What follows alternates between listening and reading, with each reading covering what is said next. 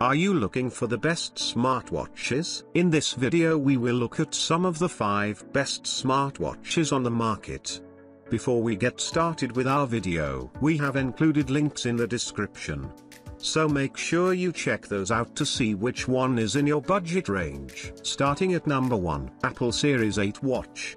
The Apple Watch is the best smartwatch money can buy. It has the best operating system, WatchOS, which is slick, with plenty of apps to help reduce the number of times you need to pull out your phone. The Series 8, 8 tenths, Wired recommends, doesn't introduce a ton of new changes over the Series 7, but most notable is a skin temperature sensor that may or may not be helpful for tracking fertility and periods. It also features crash detection, which ensures the watch will contact emergency responders if you're unresponsive in a car accident. As usual, the health features are robust. There's a sensor to measure oxygen saturation in the blood, SpO2 helpful for athletes training at altitude or anyone with an underlying health condition as well as an FDA-cleared electrocardiogram sensor. Unfortunately, battery life is still mediocre, you'll need to charge it the following morning after tracking your sleep. That said, WatchOS 9 adds a new low-power mode that extends the battery life to two full days while sacrificing features such as the always-on display or workout auto start. Our best Apple Watch guide has more details,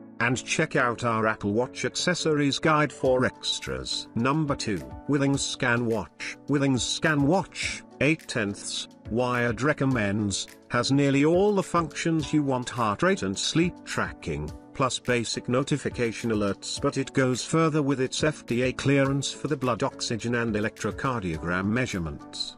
The latter can be helpful to detect atrial fibrillation and irregular heartbeats, though you should always consult your physician if you're concerned about the results. This minimalist watch can go a whole month between charges who doesn't love that? The face is covered by sapphire glass, and the case is stainless steel, so it's durable and feels well built. What gives away its smart sensibilities is the OLED subdial, which is also one of the ScanWatch's biggest downsides. This screen is tiny. You'll be reading texts like the news ticker in Times Square, New York. It's better for quickly glancing at the date and your heart rate and step count. Number 3. Google Pixel Watch. After years of rumors, the Pixel Watch is finally here. Google's first smartwatch, 6 tenths, Wired review, gets a lot of things right. Performance is smooth, the screen is responsive and bright, and it's comfortable to wear. Best of all, it's gosh darn pretty. Seriously, I think it's the best looking smartwatch right now. It has NFC for making contactless payments, a speaker to answer phone calls, and there's electrocardiogram measurements plus sleep tracking if you need it. Sadly, there are a few quirks that hold it back. It lacks some core fitness features like SpO2 measurements and auto workout detection, it won't even get fall detection until early next year. Google has also gone the Apple route with a proprietary charger and straps. It doesn't even recharge quickly. The battery is lackluster too